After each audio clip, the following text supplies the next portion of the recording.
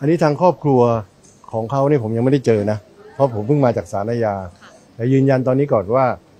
คุณเนติพรเนี่ยจากการที่คุยกับคุณหมอที่ธรรมศาสตร์ คุณเนติพร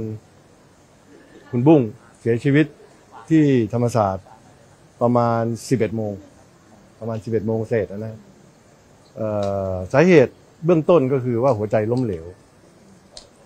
ที่ทางห้องฉุกเฉินส่งมาที่นี่ แต่ว่าสาเหตุการตายที่แท้จริงเนี่ยทางคุณหมอจะมีขั้นตอนก็คือว่าจะมีการชันสูตรพลิกศพและจะมีการผ่าศพพิสูจน์ในวันพรุ่งนี้ตอน9โมงเช้าครับ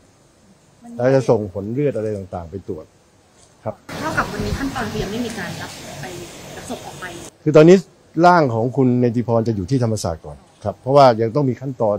ทางกฎหมายเกี่ยวกับการที่พนักงานสอบสวนต้องมาชันสูตรพลิกศพ และจะต้องมีการผ่า เพราะว่า สาเหตุการตายจะผิดธรรมชาติหรือเปล่าก็จากการดูจากศพครับขั้นตอนการรักษาเนี่ยจากโรงพยาบาลนั้นคือยังปั๊มหัวใจมาจากที่ที่ไม่ได้ทำเลยใช่ไหมครับหรือไงคือผมรู้ข่าวเมื่อเช้าตอนประมาณหกโมงว่าเนติพรเนี่ย ขณะที่พักรักษาตัวอยู่ที่โรงพยาโรงพยาบาลราชทันตอนหกโมงเช้าเนี่ยมีอาการเป็นลมหมดสติใช้คำว่าหมดสตินี่คือ ผมไม่ได้เห็นนะ แจ้งจากโรงพยาบาล แล้วหัวใจหยุดเต้น เขาก็ทำการปั๊มเพื่อให้หัวใจคืนมา แต่ก็ไม่มีผลนะสัญญาณชีพก็ไม่มีแล้วทางโรงพยาบาลราชทานจึงได้ส่งรถฉุกเฉินเนี่ยส่งตัวมารักษาที่ธรรมศาสตร์ ที่ธรรมศาสตร์ก็มีการปั๊มหัวใจต่อไปกันก็เกือบสี่ห้าชั่วโมงอะซึ่งจริงๆมันก็หมดหวังอยู่แล้ว แกก็เสียชีวิตเมื่อประมาณ 11 โมงครับสาเหตุที่ทำให้คุณรุ่งเป็นลมจนต้องถูกอ่าตอนนั้นเราไม่รู้ว่าเป็นลมหรือเปล่า คือใช้คำว่าอย่างนี้ดีกว่า คนที่แจ้งผมเนี่ยเขาบอกว่าเขาสรุปคือเขาหลับไปเอ้ยไม่เขาเขาหมดสติไปอะอย่างนี้ดีกว่า ซึ่งเราไม่รู้ว่าคืออะไร ผมก็ถามคุณหมอ คุณหมอเนี่ยว่าสาเหตุการตายอะคร่าวๆส่งมาจากห้องฉุกเฉินก็คือว่า ตายโดยอาการ หัวใจล้มเหลว ซึ่งความจริงมันเป็นคำพูดกว้างๆอะเรื่องอาการเนี่ยแต่มันอาจจะเกิดจากอะไรก็ต่างๆ เราไม่รู้เราไม่พูดไปดีกว่าครับอย่างทนายได้เข้าเยี่ยมบุ้งนี่ครั้งล่าสุดที่เจอคือวันไหนคะคือตัวผมมีผมไม่ได้เข้าเยี่ยมโดยตรง แต่มีทนายความของศูนย์ทนายความเข้าเยี่ยมทุกวัน ในช่วงที่เปิดทำงานนะนะครับหลังๆก็มีอาการ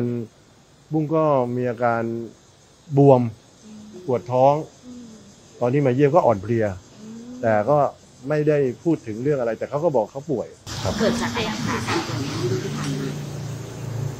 เท่าที่วิเคราะห์กันเองด้วยแล้วทางคุณหมอบอกว่าเป็นอาการของคนที่อดอาหารมาแล้วอะและกำลังฟื้นร่างกายเพราะช่วงหลังเนี่ย ทางครอบครัวบุ้งอะเขาขอร้องให้ทานอาหาร แต่ก็ทานไม่ได้อยู่ดีอะเพราะว่าอดอาหารมาสามสิบสี่สิบวันอะก็เลยให้เป็นสารเช่นโพแทสเซียม แคลเซียม หรือว่าน้ำอะไรเงี้ย เขาก็มีลักษณะอ่อนเพลียอยู่ ก็ยอมรับการได้รับสารอ่าที่กล่าวมาเมื่อสักครู่ใช่ไหมคะเขายอมรับไหมก็คงยอมรับเพราะว่าทางญาติพี่น้อง คุณพ่อคุณแม่เขาขอร้องอะครับซึ่งทนายความก็ไม่ได้เข้าไปยุ่งเกี่ยวให้ความเห็นตรงนี้เจอครั้งล่าสุดเขาสามารถพูดคุยได้เหมือนคนปกติก็อ่อนเพลียนะครับ คุยไปอาจจะบางทีหลับบางทีก็แข็งแรงขึ้นมาถ้าได้นอน คือเขาบ่นว่าบางคืนเขานอนไม่หลับ แต่ตลอดการรักษาที่โรงพยาบาลราชทันนี่ทางญาติเองมีการติดใจในการรักษาของทางโรงผมยังไม่ได้คุยกับญาติเลยคือเราไม่คิดว่าจะเกิดเรื่องนี้ เพราะงั้นเราก็จะถามว่าติดใจหรือไม่ติดใจก็คงต้องดูจากการผ่าศพพิสูจน์ก่อนครับทางด้านกฎหมายนี้ทำดำเนินการต่อไปก็ก็ก็เป็นขั้นตอนที่ทางโรงพยาบาลเขาคงต้องผ่าพิสูจน์ว่าสาเหตุการตายที่แท้จริงเกิดจากอะไร ถ้าเป็นเกิดจากเป็นการตายโดยทางทางธรรมชาติ หรือเป็นโรคตายก็ก็คงต้องจบ อะอันนี้เราอันนี้ผมไม่ให้ความเห็นนะ เพราะว่ามันมีครับมันมีคนที่ผูกกันเยอะ อย่างวันนี้ท่านรัฐมนตรีว่าการกระทรวงยุติธรรมก็โทรหาผมว่าแกก็กังวลใจเรื่องความโปร่งใสอะนะแกก็อยากจะให้ผ่าที่ธรรมศาสตร์เลย ไม่ต้องเอาตัวไปที่นิติเวชโรงพยาบาลตำรวจผมก็เห็นด้วยผมว่าเรื่องนี้เป็นเรื่องที่ต้องทำให้คนโปร่งใส เพราะว่าบุ้งเองก็โดนคดีความที่เป็นเกี่ยวกับเรื่องทางการเมืองความคิดเห็นทางการเมืองซึ่ง ซึ่งเราก็รู้อยู่ว่ามันคืออะไรอะครับ เพราะฉะนั้นก็ต้องให้โปร่งใสที่สุด ที่ได้เข้าพบคุณบุ้งเนี่ยค่ะ เขาได้มีความกังวลเรื่องอะไรบ้างคะถ้าได้ที่ได้พูดคุยกันในทีมงานนะคะก็ก็เป็นห่วงคุณพ่อคุณแม่เท่านั้นเอง ความจริงแล้วเขาก็ยังยืนหยัดอยู่ว่า สิ่งที่เขาทำสิ่งที่เขาพูดก็เป็นสิ่งที่เขาเห็นสมควรตามข้อเรียกร้องเขาปฏิรูปกระบวนการยุติธรรมอืมหรือเรียกร้องให้แก้ไขมาตรา 112 หรือยกเลิกมาตรา 112 เขาก็ยังเชื่ออย่างนั้นอยู่ ที่ผ่านมาเรายื่นประกันตัวบุ้งมาแล้วกี่ครั้งอะคะ บุ้งเนี่ยยื่นประกันตัวไม่กี่ครั้งเองครับ หลังจากที่ศาลถอนประกันศาลอาญากรุงเทพใต้ถอนประกัน แล้วคดีอื่นเขาก็ยังได้รับประกันตัวอยู่นะ แต่เขาก็ถอนออกมาอืมเพราะศาลศาลอาญากรุงเทพใต้ไม่ให้ประกันอะเขาก็เลยต้องติดอยู่ความจริงเขาได้เขาโดนหลายคดีอะค่ะเกือบทุกคดีได้ประกันตัวหมดมีอาญากรุงเทพใต้เนี่ยที่ไปถอนประกันเขา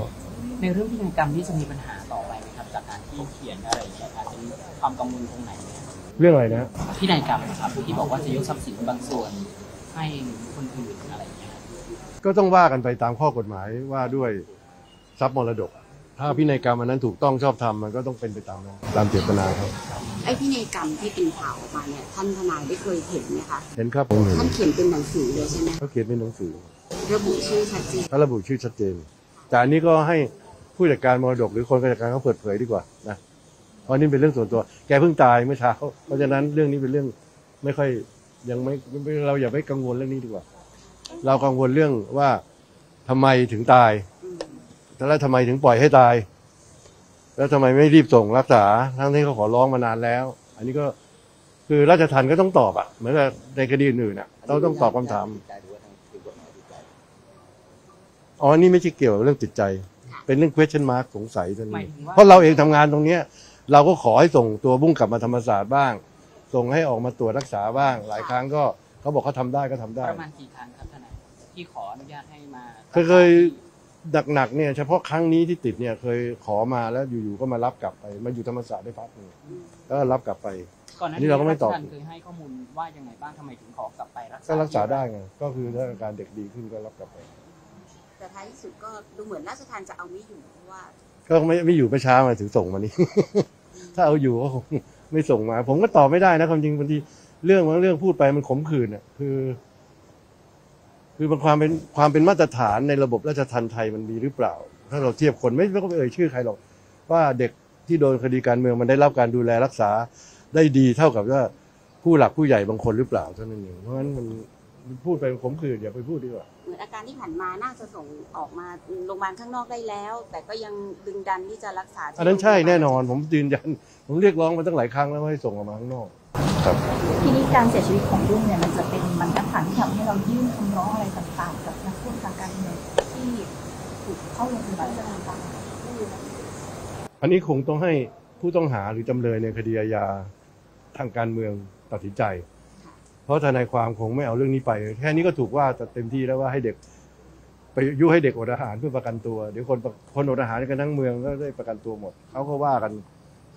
เพราะงั้นอันนี้เป็นเรื่องของเจ้าหน้าที่รัฐจะให้ความเมตตาเพราะโดยหลักมันอยู่แล้วอะในคดีอาญาเนี่ยบุคคลต้องถูกสันนิษฐานไว้ก่อนว่า บริสุทธิ์ใช่ไหมทำไมคดีอย่าไปเอ่ยชื่อ คดีโทษสูงๆมาปล่อยให้ประกันกันเยอะแยะไปหมด ในคดีคุณทานตะวันเนี่ยโดนคดีบีบแต่โทษสูงสุดเจ็ดปีอะไม่มีโทษขั้นต่ำทำไมไม่ให้ประกันผมถามหน่อย